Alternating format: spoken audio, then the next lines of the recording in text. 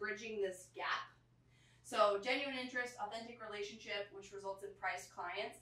But when I'm talking about a gap, I think where I see a lot of salespeople struggle is we put our customers up here, right? The hotel owner, the architect, the principal. We have all these high profile clients, and then our sales colleagues, us, competitors, other industries, we're all kind of down here. And we're all trying to like jump up to this owner. But the gap that we're trying to bridge is to basically put us in alignment with our clients.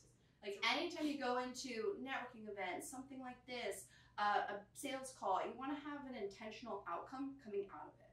Both for your own, fueling your own business forward, because that's what we're in this industry to do, but also what are you bringing to the table that's of value? Because that's what's going to put us on the same level. Because not only are we leaving like relationship opportunity on the table, but from a sales capacity, we leave money on the table a lot. And Brian, his colleague, comes up to me and just starts talking to me about this bathtub that's in their booth. Oh, it's made of this material. It holds X gallons of water. It's eleven thousand dollars. Brian, in what world do you think I can afford this tub? I'm a renter in LA. I'm just going to say hi to my friend, but like he didn't ask me any of those questions. He didn't even look at my badge. She just went into I get it. We all get into autopilot mode at trade shows, yeah. but really at the end of the day, he didn't show any interest in me.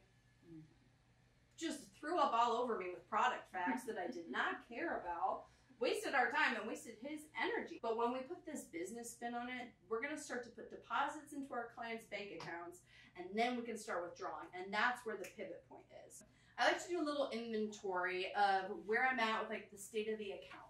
Mark runs the studio. He reports directly to the boss. He's a big guy. I need to get in with Mark. Like that, he's gonna be one of my targets. As we bridge that gap, we're gonna take it from price clients to price relationships. And that's how we're on the same level, right? We're a consultant, we're not a salesperson but you know we're up here with these clients because we're building things together